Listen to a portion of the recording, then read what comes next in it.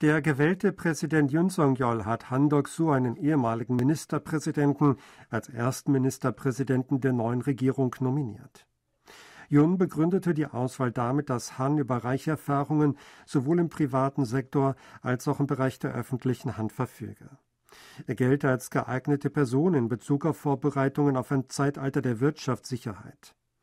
Jun trat auf einer Pressekonferenz gemeinsam mit Han auf und sagte, dass dieser unabhängig von politischen Gruppierungen Anerkennung für seine Fähigkeiten und seinen Sachverstand gefunden habe.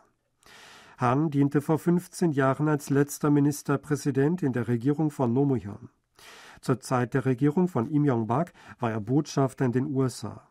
Er hatte als Wirtschaftsbeamter in vier Regierungen wichtige Posten bekleidet.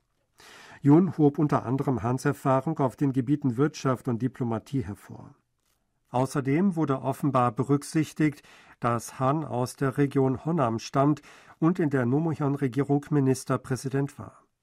Denn eine parlamentarische Billigung der Nennung des Premierministers ist ohne Zustimmung der Minju-Partei Koreas unmöglich. Han verwies zunächst auf das große Verantwortungsgefühl, das er empfinde. Angesichts der sehr ernsthaften wirtschaftlichen und geopolitischen Verhältnisse fühle er sich sehr geehrt, spüre gleichzeitig aber eine große Verantwortung, sagte Han. Hinsichtlich seines vergleichsweise hohen Alters betonte der 72-Jährige, dass es ihm gesundheitlich gut gehe. Han trifft ab heute Vorbereitungen für seine parlamentarische Anhörung. Er versprach, dabei aufrichtig zu sein.